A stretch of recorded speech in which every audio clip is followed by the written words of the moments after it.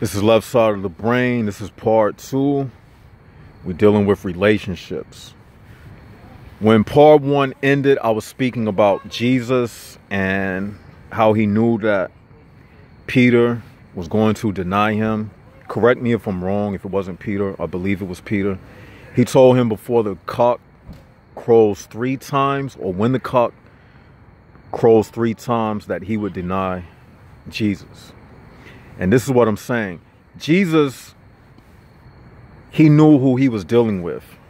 Um, that story reminds me of myself. Like, you know the situation that you are in, and that has happened to me plenty of times in relationships. Like, I'll be dealing with a person, and I and I and I'll see it before it takes place, and I say to myself, I can already see where this is leading.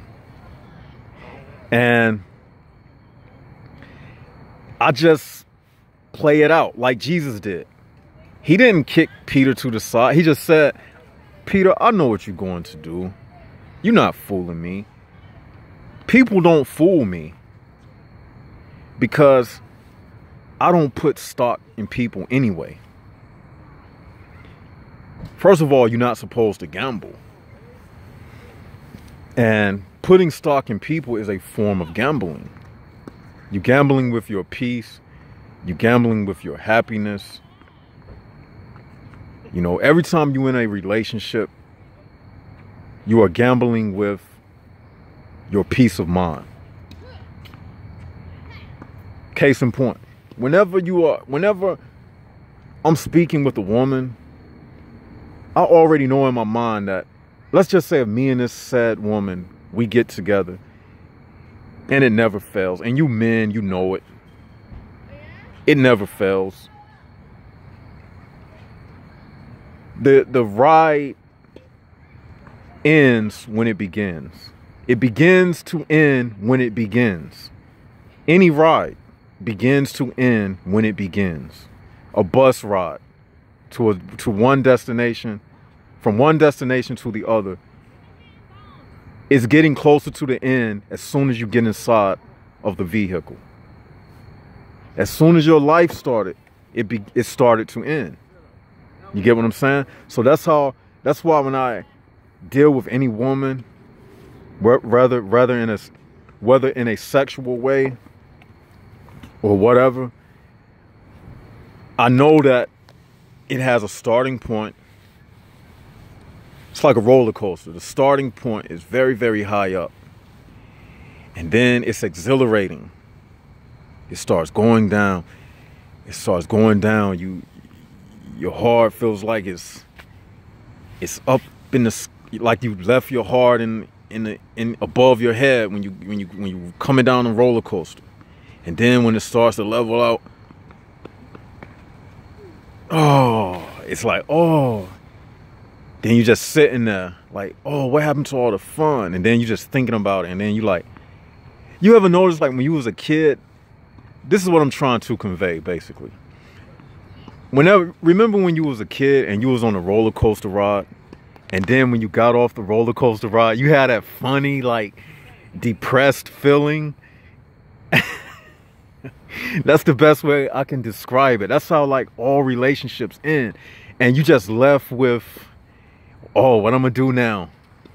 And you had your hands in your pocket and your and your and your father or mother, they was holding your other hand and they was leading you around and you was just looking around. Oh, what, what mom and dad gonna take me next? You hear all the music and you see the clowns, you see the people playing the little bingo games. I'm sure y'all have been to a state fair before. You know, you know how it is. Or or at one of these amusement parks. And when you get off the ride, you looking for the next thrill. Mommy, I want to get on this ride. I want to get on that ride. You get what I'm saying? And it's like the carousel is too boring for you. It just goes up and down. The little music playing. And you say to yourself, this is boring. I, I, I'm on a more exciting ride. And you and that's how relationships are. You you stay you you constantly judging the last relationship and the performance from the last relationship. And you take that with you when you are searching for another relationship. So that's why it's like a drug. You know how they say when you get on drugs you you chasing a high? It's the same way with relationships. And a person becomes addicted.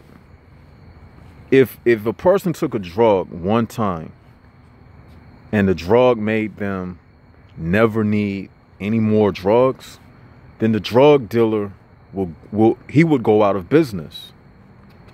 You get what I'm saying? So all of these things they are in the mind of people. It's in our mind. So why why are you chasing a chemical that's in your brain? The excitement is inside of you the other person see the, what what's happening is the other person you are creating them as the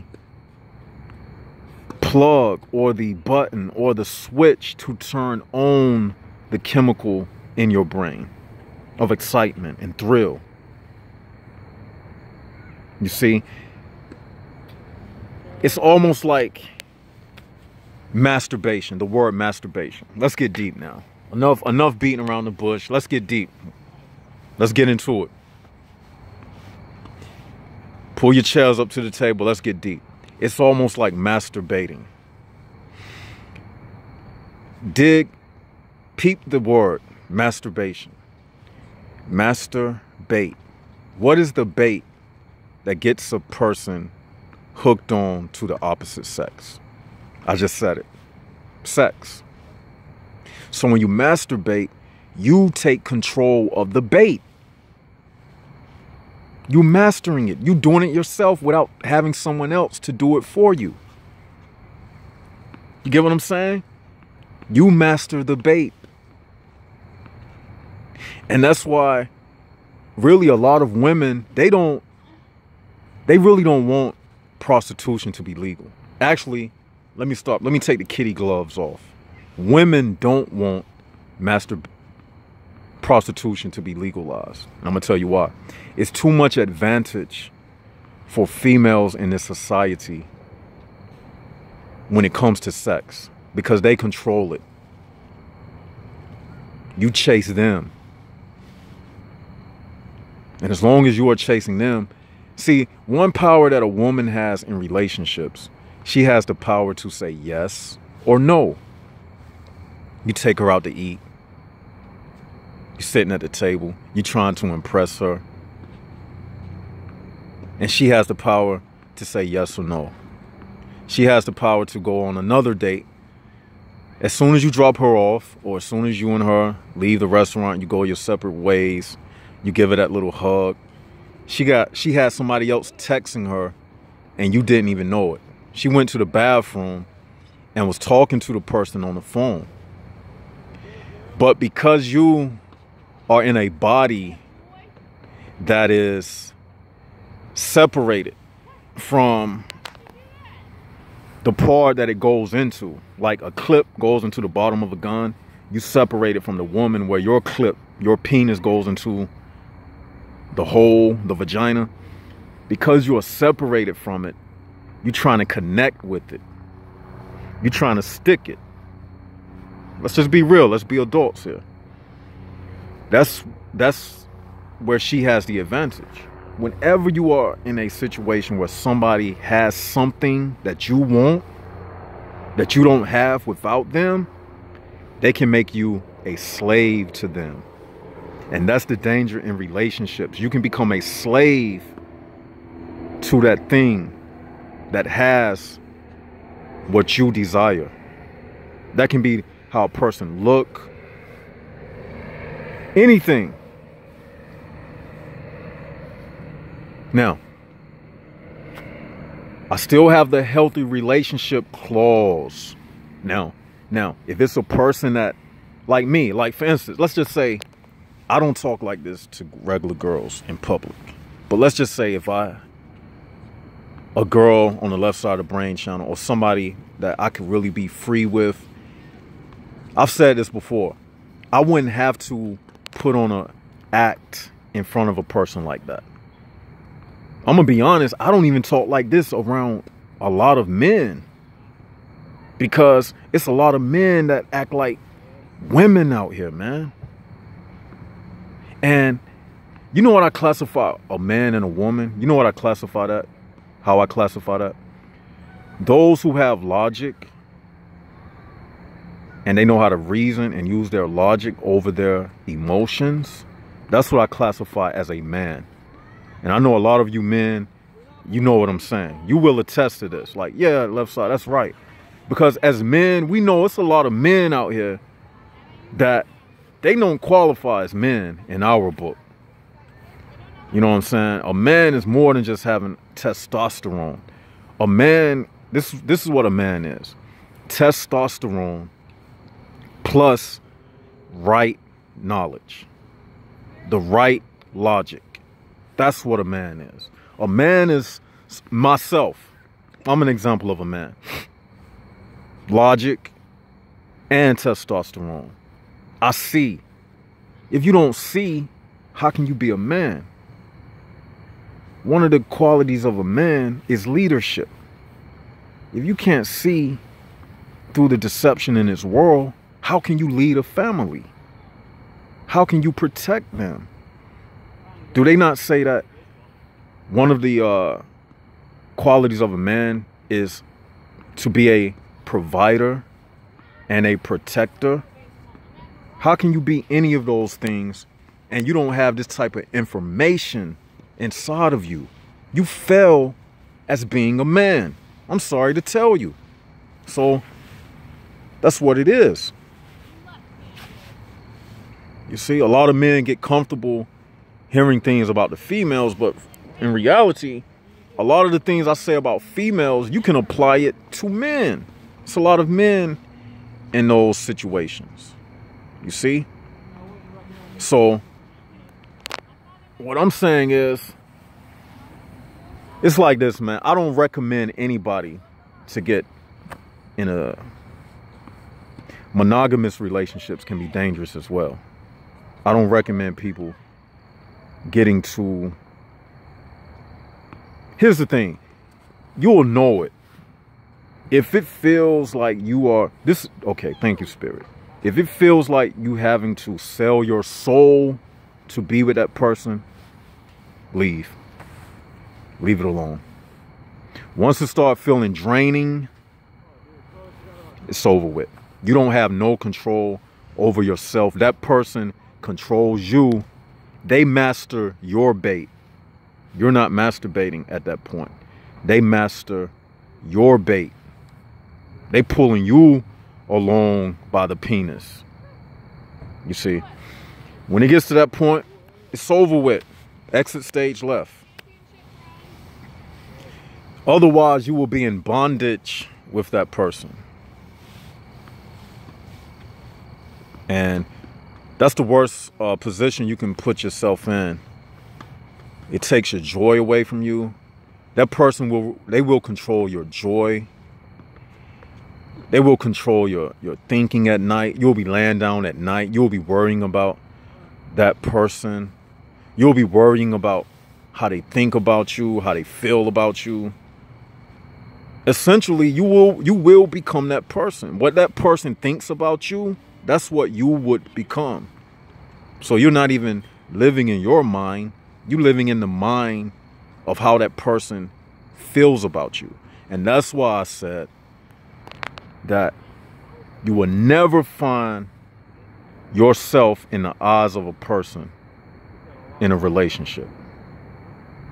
And the only way you will find your, your true value is how you view yourself. Nobody can give you that. Self esteem shouldn't come from success in the eyes of another person. You know where I get my self esteem from?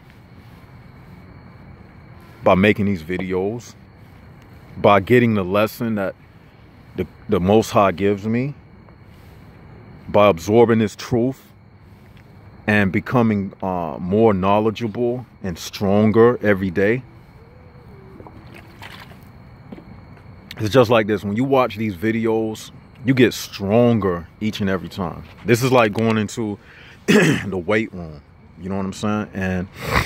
And every single time you come in here, this is the weight room. Every time you come in here, you get stronger each and every time. You're doing spiritual pull-ups and spiritual sit-ups. You lifting. Hold on, let me show y'all. Ugh, you lifting spiritual dumbbells. Ugh. Ugh. Did y'all see that video when I was in the weight room? That's what you're doing. That's just a metaphor, but you're doing that in a spiritual sense. That's what you're doing. And I commend you for that. When a jaguar in nature, only time you see a jaguar with a female jaguar is when they is when they uh having sex. When they copulating for you proper people. Copulating, copul copulating, copulating. That's the only time you'll see them come together. And then the mother jaguar, she'll she'll sit there and she'll nurse the babies. See, relationships, see, some of this stuff is it's nothing wrong with relationships. Don't get me wrong. Because I, I told you that there is a such thing as healthy relationships. But here's the thing. Some of this, what I'm saying, you see, women by nature, they have to be in a relationship because they are mothers. Mothers will always have a lot of children around them, community around them, um, institutions, the legal system. Women are a protected group in society. Yes, there is exploitation of children and women, but women and children are protected. It's men who are thrown to the wolves a lot of times. And for a man to be protected like that, he have to be in the inner coven of that type of world, that secret society world. He has to be really in the bloodline. You see? But women are very valuable valuable in this world because that's where you get the prisoners from. That's where they they use women as the vehicle to to bring in prisoners of the soul from one side into from one dimension into this world. See, the woman is the gateway. So having said that, she's always more social and she's that's why women always want to lead a man into a relationship you as a man you just be thinking like and me too i just want to have sex if the girl is cool you don't mind having sex and keeping her around because you know she's cool her her attitude and her vibe and the way she is her persona sometimes it doesn't push you away from her. But some girls, you just want to fuck, let her suck, and you want to be done with it. It's like that with some females. But some females, you don't mind like taking them out because you say to yourself, well, this, the relationship with her is healthy. She don't stress me out and she doesn't uh, prevent me from being who I am really, that's really the only thing I require of a female. I'm gonna be honest. If I can be myself around a woman, I'm good. As long as she let me be myself, talk my left side of the brain information, don't try to get me to watch them uh, NBA housewives and let me play the kind of music I want to play in the car without you saying, I don't want to hear that. I want to hear uh little, you know, them latest rappers and stuff out. Cause a lot of these girls, you get with them and you have to play that kind of music when you're around them. Trust me, man, I've been in a situation. I know. I know. And sometimes, and guess what? I've did it before. I'm gonna be honest with you. I've did it before. I, I, I played the red pill and blue pill, but guess what? Once I had sex with the girl, I was done. And if she liked it, she liked me, she come back, but I let her know through my actions that this is no relationship. And if she just liked me enough, she just want to be around me. Because sometimes women like to chase. But I know that I can't be myself around you. We got two different type of minds. I might be physically attracted to you, but that's it. Then you got women that have a uh, a more connection, a more connection with the type of things I speak about on this channel. Now, if you're a man, that's the type of woman that you can be in a healthy relationship with. And other types, don't play games with your mind. And before you do, remember these things I speak about. So you will be like, you know what? Left side talked about this. What I'm I doing in this situation. You have to be, I'm not going to tell you what type of woman to be with. One thing I don't do, I don't tell people who to have sex with, how to dress. That's none of my business. I'm just telling you what it is. And this why this is the best channel on YouTube. Because I just tell you what it is. You can do whatever you desire or want to do with the information. It's not going to bother me. Because I, I know who I am. You see,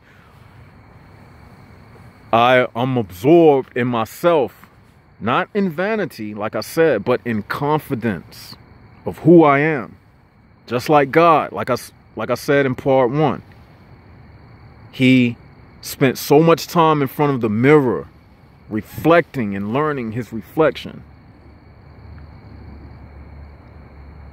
You know, if you want to learn how to um, live for yourself and not for others, do a 10 minute exercise. Just look at, look at yourself in the mirror and just look at yourself like you never looked at yourself before. Just look at, just look at your, your eyes and just stare. Don't think about nothing. Just, just look, just let your mind just be free and just look at yourself in the mirror and just come in one with yourself. Take a take a spiritual selfie. Take a spiritual selfie of yourself. And just look at yourself and discover who you are. And I, and I promise you, when you start like listening to these videos, after you hear this video today, I bet you you will you will look at the world differently. Once you look at part one, part two, I bet you your whole view of relationships will change. And I'm here to let you know that you don't need relationships as much as you think you do. Stay out of toxic, unhealthy relationships. Embrace yourself, embrace your loneliness. Once you embrace your loneliness, you will discover that lonely is not lonely. You will discover that lonely is really talking to God. See, when you in that in that carnal mind, you think lonely means I'm bored. What I'm gonna do? But when you are when you are spending time with yourself, that's when God turns into loneliness. Well, really, he was always there. So you are never really out out of the bounds of a relationship as long as you have the most high to meditate upon. He'll send you insights about this world. Just like he gave them to me. I'm with you right now because we good company. This is a healthy relationship. And when I make these videos, in my mind, I'm looking at you based upon your comments and stuff. I'm already looking at each and every one of you. It's like we are right here together, even if I don't know you personally. Just if we we the spirit is outside of the body. So this information we are right in front of each other right now because this truth is something that goes beyond space and time. This is for the deep people. So you can be watching this in your bed right now at 3 p.m. in the morning under a blanket. I'm right. God is right there beside you. And my voice, he's using my voice as a vehicle. So you listening to me. So basically, I'm right there beside you as well because one of my senses, my sense of sound is right right there going into your eardrums and you and you probably nodding your head agreeing with what I'm saying. That's like giving me a high five and giving me a pound. Yeah, man, that's what's up. Giving me dap without me even being there. You know what I'm saying? But I'm about to end this video right now. This is Left Side of the Brain. Hope you all enjoyed this series on relationships. This is Left Side of the Brain, and I'm signing out.